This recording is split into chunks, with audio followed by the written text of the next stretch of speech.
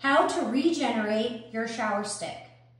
Step one, remove the regeneration port cap and place the shower head on the floor to drain excess water.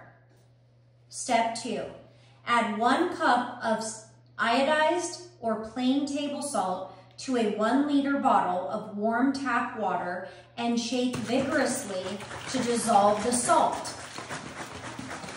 Mark the bottle with a line to show how much salt is needed for future regeneration.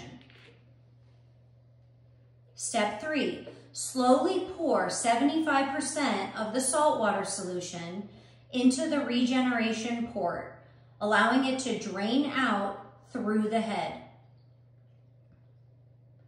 Do not use coarse grained salts such as sea salt, kosher salt, or water softener salt.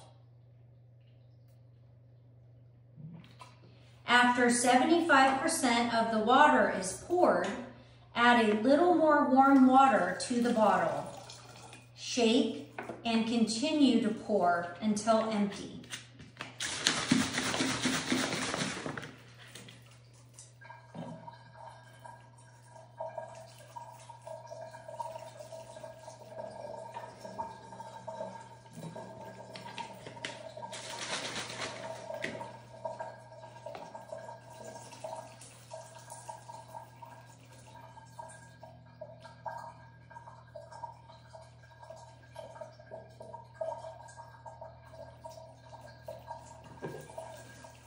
Step five, replace the shower head in the mount and reattach the regeneration port cap.